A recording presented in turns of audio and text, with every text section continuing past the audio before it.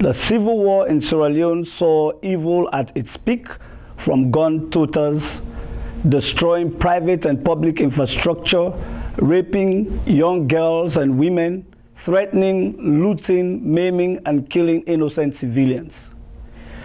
The military tried its best to reverse the situation, but was ill prepared. They lacked the required resources, training, and education, and were also outnumbered. As the suffering of innocent boys, girls, and women increased, and their cries became louder, the abled men decided to defend themselves, their families, and their properties. Unfortunately, they were equally not trained and lacked the required resources. Who can rescue these poor innocent men, women, and children from these evil gun toters? Can the gods of their ancestors, or professional military, or the leaders of international world order? Today, I want to talk to you on the subject of professional military and its benefits. A professional military is a force with well-trained, educated officers and men equipped with skills and resources to fight and win the nation's wars and contribute to sustain development of its people. In 1991, when the rebels, as we call them, or freedom fighters, as they call themselves, of the Revolutionary United Front, RUF, crossed into Sierra Leone. The Republic of Sierra Leone Military Forces, RSLMF, was ill prepared. The soldiers were using very old, outdated weapons with small quantity of rusty ammunitions. Not every soldier had boots and uniforms. The troops were running months without salaries, staying weeks without ration, and had to live on the jungle. Their morale was very low. The level of training was also very low. The RUF, led by ex-corporal Foday Sankoh, backed by Charles Taylor, former warlord of the National Patriotic Front of Liberia, though ill-trained, were highly motivated with charms believed to protect them from bullets and bombs. The area fighters were equipped with AK-47 rifles, rocket-propelled grenades, machine guns, and anti-aircraft guns. They had greater firepower than the Republic of Sierra Leone military forces at the time. So the first few months of the war saw the Revolutionary United Front overrunning military positions and taking territories that were under that were once under government control. As the soldiers withdrew, the civilians were at the mercy of the RUF fighters. The RUF wasted no time to dismantle government structures and informed the people in those territories that they, the RUF, were now in charge. The defenseless people were now ruled by the power of the gun. These gun toters terrorized, looted, maimed, raped, and killed the people they claimed they were fighting to set free. As the situation continued to destabilize, civil demonstrations from students ensued in protest of the government's failure to protect its citizens and prevent bad governance and corruption.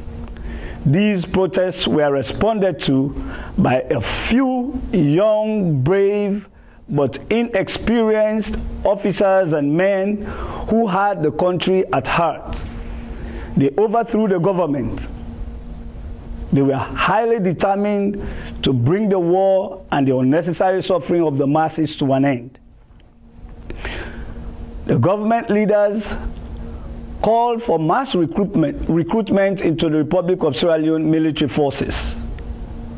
These new recruits were provided with basic training and sent to the war front. Though they made initial gains, their victories did not last long. With more support from the warlord Charles Taylor, the RUF reversed the gains and the war became series of ding-dong battles. With the stalemate and increased suffering of the masses, the people decided to defend themselves, their children, wives, and properties. Volunteer groups of natives, of native hunters, secret societies called the Tamaboros from the north, the Donsos from Kono, and Kamajors from the south and east of the country sprang up and requested the government to provide them with logistics so that they can bring the war to an end. These fighters were untrained. They relied on charms given to them by their spiritual heads, just like the RUF. These spiritual heads performed rituals and told the fighters that they have been washed and cleansed by the gods of their ancestors.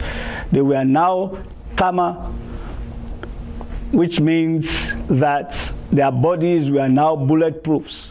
No bullet or bomb could kill them as long as they abided by, the, by certain laws from their gods. These young men and women believed their spiritual heads took the charms and bravely faced the enemy. Most of them died in their thousands. The worst thing that happened was that these civil defense units admired the RUF in every facet, and in no time, they began to behave just like them. They started making themselves lords and masters over their communities. They had no knowledge about the law of war or rules of engagement. So they executed suspected area fighters on the spot, less to talk about actual prisoners of war.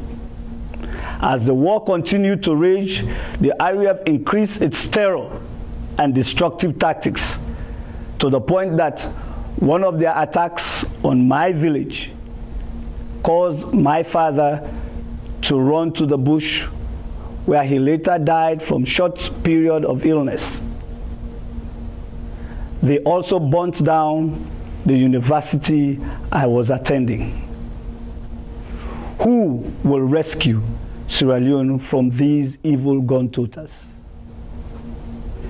On hearing the news of my father's death and the destruction of my university, I cried until I was drenched in tears. I reckon that it was time to render my service to the nation and my family. As the eldest son of my family, I took the mantle of fatherly responsibility. I had no job, and my university was no more. I decided to join the military, an idea which my late father and mother had been totally against. My parents wanted me to study medicine. But with my father dead and gone, there was no one to fund my university education. My mother could not afford to fund my university education as well as take care of all my brothers and sisters who were at primary and high school levels. So, in October 1994, I became a cadet officer. I received training from the Republic of Sierra Leone Military Forces instructors, Nigerian Army Assistant Training and Assistant Group NATAG, the Gurkhas executive outcomes for nine full months before commissioning as a second lieutenant and sent to the war front. But prior to that, Around the six months of training, the RUF closed in on the capital city of Freetown. The government was so desperate that they almost cut short the training.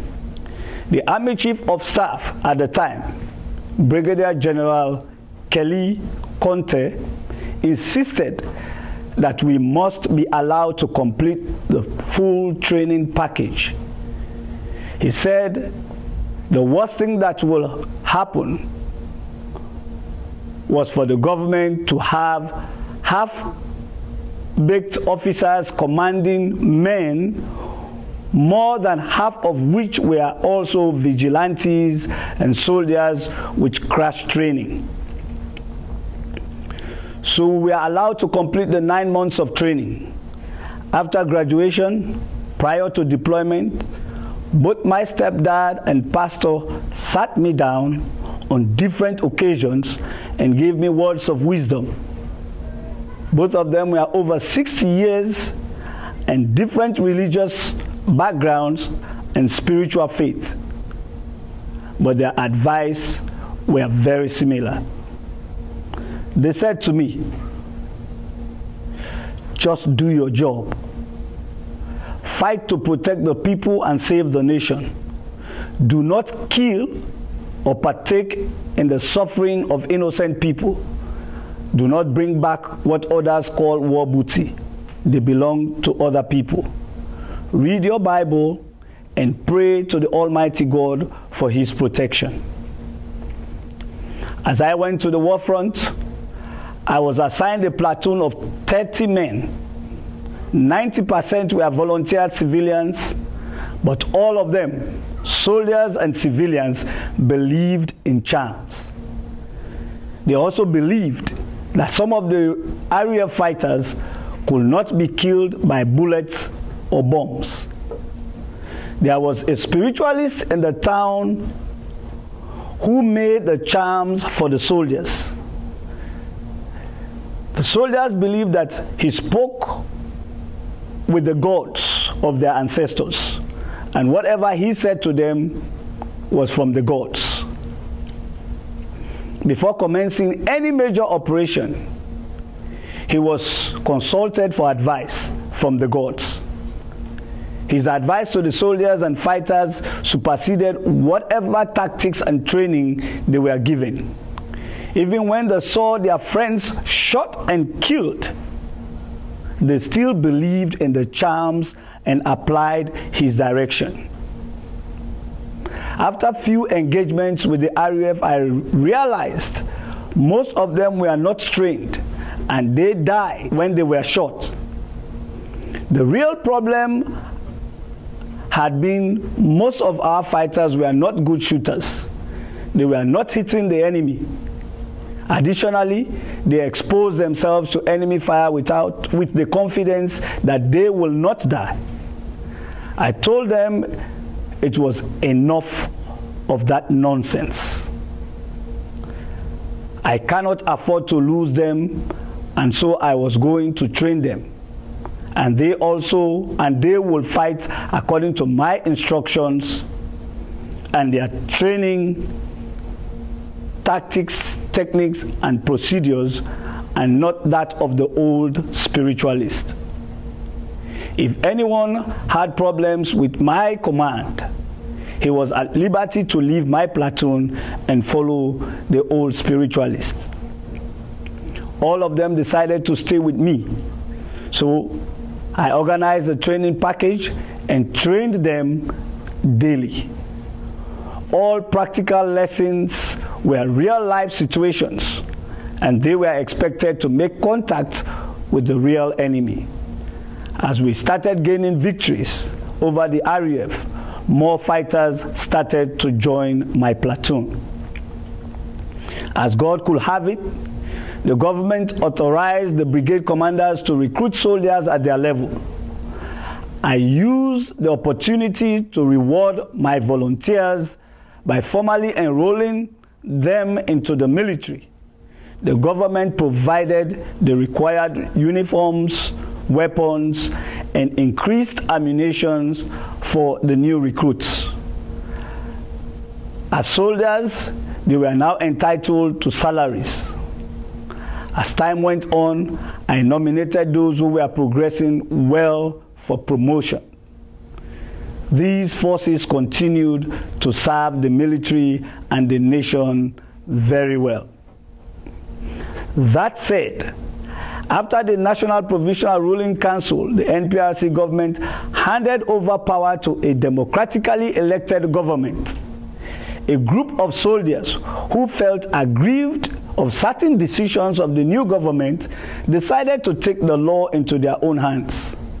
Their actions sent the democratically elected government into exile, leaving the governance of the country into their own hands. They call their government the Armed Forces Revolutionary Council, AFRC. Once again, most of the key planners of this action had very little or no education. Their military training was not above section command or squad leader. They had no idea of governance all efforts by the international community to get these soldiers to hand over power back to the democratically elected government fell on deaf ears. A new era of darkness was about to cover Sierra Leone. As the international community searched for ways to reverse the situation, the Economic Community of West Africa, states, ECOWAS, the African Union, AU, and the United Nations authorized a Nigerian led ECOMOG, which is the ECOWAS monitoring group, a military force, to intervene and reinstate the democratically elected government by all means. At that point, the Armed Forces Revolutionary Council, AFRC government, gave the olive branch to the RUF and further invited them to form a coalition and assist and resist ECOMOG. As ECOMOG made initial gains over the Armed Forces Revolutionary Council and RUF coalition, the coalition felt that the civilian populace sided with ECOMOG. So the RUF resorted to increase and more violent terror tactics. They burnt down towns and destroyed infrastructure whenever they were forced to withdraw from any location. It was unfortunate that ECOMOG could not decisively defeat the RUF AFRC coalition on the battlefront.